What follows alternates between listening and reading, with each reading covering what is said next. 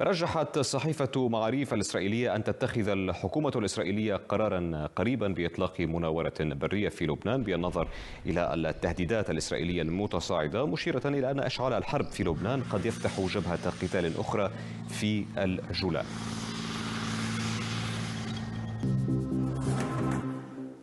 وعلى الأرض أعلن الجيش الإسرائيلي شن غارات متفرقة على مبان عسكرية لحزب الله في مناطق جبل رزلان ورامية وكفركيلا في جنوب لبنان فجر اليوم. من جهته دعا الأمين العام للأمم المتحدة أنطونيو غوتيريش إلى وقف الهجمات المتبادلة بين إسرائيل وحزب الله على طول الحدود. وأعرب غوتيريش عن قلقه من خطر نشوب صراع أوسع نطاقا تكون له عواقب مدمرة على المنطقة. وقال المتحدث باسم غوتيريش ستيفان دوجاريك إن الأمين العام يدعو الأطراف مرة أخرى إلى وقف عاجل لإطلاق النار. وللمزيد معنا الآن مباشرة من صيدا مراسلتنا سارة شحادة. أهلا بك سارة. إذا كيف كان الوضع في جنوب لبنان اليوم؟ وما صحة الحديث عن أن ربما ربما المواجهات انخفضت حدتها مؤخرا يعني؟ نعم رامي بالفعل هدوء حذر شهدته جبهة الجنوب اللبناني طيلة هذا اليوم على عكس أمس والأيام الماضية التي ارتفعت فيها حدة الاشتباكات بشكل كبير جدا.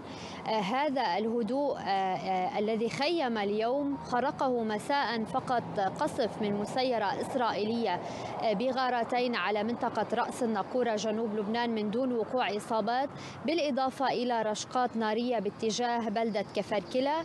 أيضا بالنسبة لحزب الله سجل حتى الآن استهداف واحد على تجمع لجنود إسرائيليين في خربة ماعر قد يكون للاتصالات الدبلوماسية المكثفة أثرها على هذا أو على انخفاض هذه المواجهات اليوم تحديدا.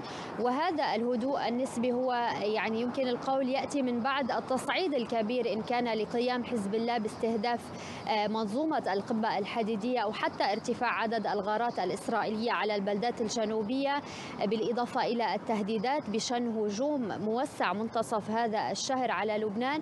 لكن يعني حتى هذا الأمر نفته عدة مرات الحكومة اللبنانية بأن لا صحة لهذه الأخبار أو لتلقيها تحذيرات بهذا الشأن وأن كل ذلك هو ضمن إطار الضغط على لبنان. بشكل عام يعني الوضع ميدانيا اليوم هو مختلف عن أمس. هناك انخفاض واضح في عدد العمليات العسكرية بين حزب الله والجيش الإسرائيلي بانتظار ما ستؤول إليه المساعي الدولية لإنهاء الحرب أو المواجهات جنوب لبنان. نعم بالتالي هل يعني ذلك سارة أن هناك اتصالات حاليا يعني مع حكومة تصريف الأعمال هنا بشأن التهدئة وما إلى ذلك مع أطراف دولية يعني؟ طبعا الحكومة اللبنانية هي أكدت اليوم أن الأولوية للبنان التواصل مع دول العالم للجم التصعيد ووقف العدوان الإسرائيلي على جنوب لبنان. هذا الأمر اليوم أشار إليه أو تحدث عنه رئيس حكومة تصريف الأعمال نجيب ميقاتي في اجتماع له في السراي الحكومي خاصة بعد البيان الذي صدر عن فرنسا وأمريكا وبريطانيا وألمانيا أيضا والذي دعا إلى ضرورة توحيد الجهود من أجل خفض التوتر على طول الخط الأزرق. حتى يعني ميقاتي يقول بأن الاتصالات الدبلوماسية هي نجحت لأكثر من مرة في تجنيب لبنان التصعيد وفي تجنيب توسعة الحرب. أشير أيضا أن بعض الأوساط السياسية أيضا تتحدث عن اتصالات على أرفع المستويات. شارك فيها أيضا المبعوث الأمريكي أموس هوكستين. إن كان مع المسؤولين اللبنانيين أو مع المسؤولين الإسرائيليين من أجل خفض التوتر. واضح. شكرا. جزيلا لك سارة على كل هذه التفاصيل والمعلومات. إذا كانت معنا مباشرة من صيدا مراسلتنا سارة شحادة.